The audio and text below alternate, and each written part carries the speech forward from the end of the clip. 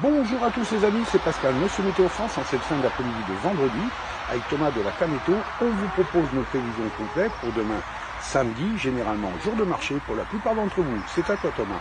Bonjour à toutes et à tous, bonjour Pascal. Et oui, voici le bulletin météo complet pour le samedi 30 novembre, dernier jour du mois. Et pour ceux et celles qui auront des marchés ce samedi matin, ça s'annonce assez nuageux pour la et la Gironde. Dans l'après-midi, toujours le même type de temps, mais voilà, localement pour nos deux départements, les pluies commenceront à arriver. En ce qui concerne le vent, en général, il sera faible à modéré d'ouest à sud-ouest. Et les températures le matin s'échelonneront entre 5 et 8 degrés. Et l'après-midi entre 10 et 12 degrés. Et passons à la tendance nationale qui s'annonce là aussi bien nuageuse sur la façade ouest, euh, quasiment très peu d'éclaircies, arrivée pardon, de la pluie par la Bretagne, du soleil légèrement voilé des côtes normandes jusqu'aux gares et aux bouches du Rhône, du plein soleil sur la façade est avec pourquoi pas de la Sologne jusqu'à la Franche-Comté et à l'Alsace, euh, dans les vallées des nappes de brumes et de brouillard. Et pour ce samedi après-midi, les éclaircies se réduiront comme pot de chagrin sur la façade est. Petit à petit, la perturbation entrera.